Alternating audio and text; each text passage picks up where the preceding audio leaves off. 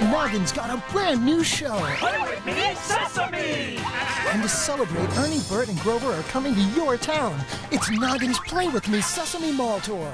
You're invited to play Ernie Says, read stories with Bert, and move and groove with Grover. And it's absolutely free. It's Noggin's Play With Me Sesame Mall Tour.